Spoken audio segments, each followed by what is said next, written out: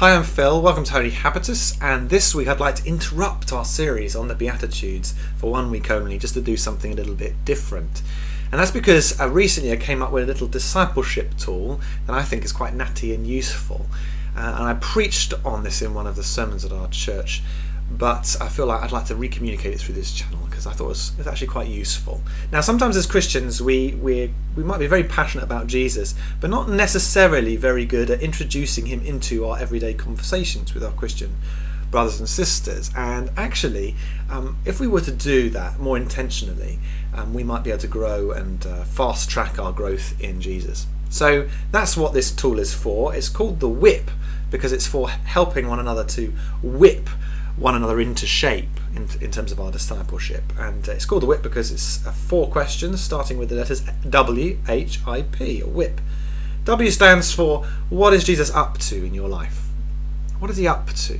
What is he saying to you? Where is he leading you? What is he trying to communicate to you? What is he up to in your life? And when we ask that question to one another, sometimes it's hard to answer. But the more we ask that kind of question, the more we force one another to um, put into words, to articulate what Jesus might be saying. Oh, I had a sermon about something or other. Or I, I read this passage in Scripture. Maybe I thought maybe Jesus is saying this to me. Or actually, Jesus isn't saying anything to me at the moment. Maybe that's because I'm not listening, so I need to listen to him. Do you know what I mean? So it's that kind of question. What is Jesus up to in your life? What is he trying to do? What is he putting his finger on in your life right now? The second question um, asks the discipleship follow up question. It's H and it stands for How are you cooperating with him in that? How are you cooperating with him? How are you helping him to do what he's trying to do in your life? Getting people to think through the practical uh, workings out of how they can join in with Jesus' work in their lives. I stands for Is there any way I can help?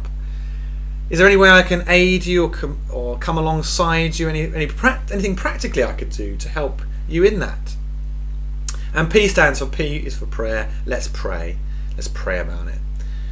So maybe you could think this week: Is there anybody I could whip into shape with that conversation? Is there anybody I'm meeting, or anybody I could arrange to meet up with for a coffee, and I could just introduce those four questions in? What is Jesus up to in your life? How are you cooperating with him? Is there anything I can do to help you? Let's pray about it. WHIP.